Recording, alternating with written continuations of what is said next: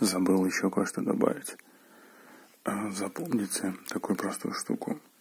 Если яблоко не ест червяка, значит, оно настолько плохое, что его даже червяк не ест.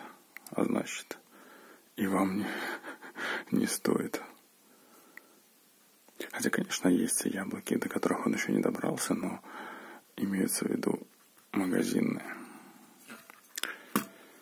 Да, как-то так.